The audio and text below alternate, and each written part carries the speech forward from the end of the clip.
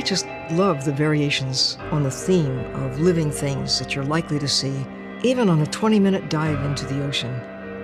It is amazing what is out there if you give yourself a chance to stop and look. The sea is not just rocks and water, it's alive. In every bucketful that you pull out of the ocean, there are many variations on the theme of life.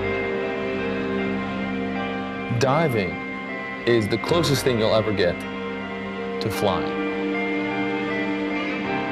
And it's just magical. It's colorful. Everybody's into each other's business and they're all kind of checking each other out and doing their thing and playing this incredibly vital role in the health of our world.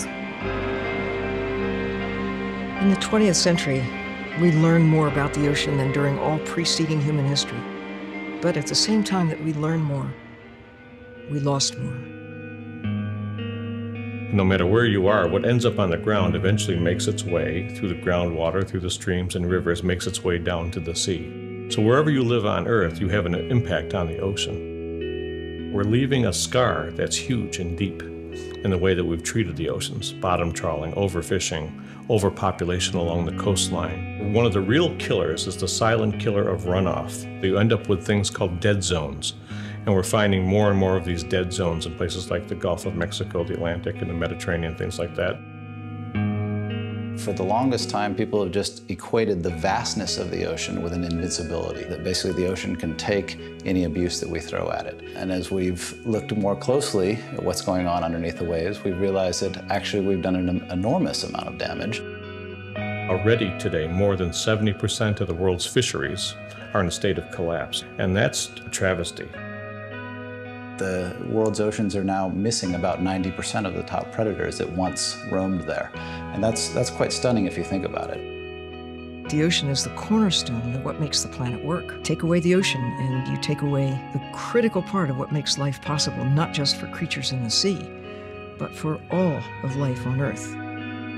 We don't know quite how to fix it, except to do everything in our power to protect what remains of the wild places the extraordinary places where the pieces are still intact.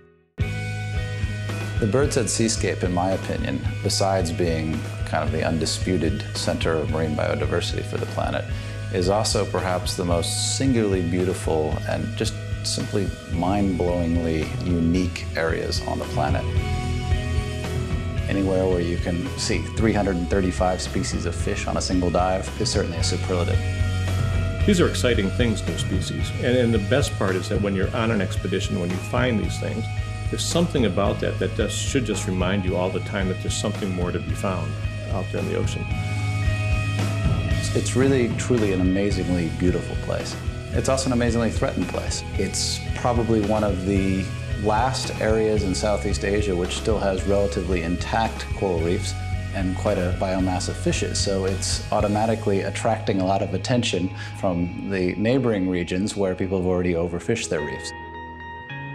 We have this lost world of amazing beauty and, and diversity and abundance, but uh, it's not going to stay that way if we don't do something about it.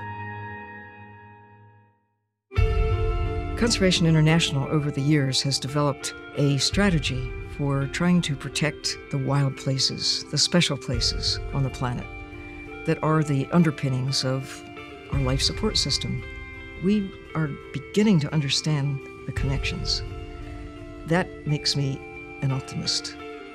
I feel driven now to try to make up for lost time while we still have 10% of some of these wonderful creatures still in place. Our grandfather said we, we protect what we love and we, we love what we understand. And it's tragic that as we grow to understand the ocean and grow to love it and want to protect it, there's so little left.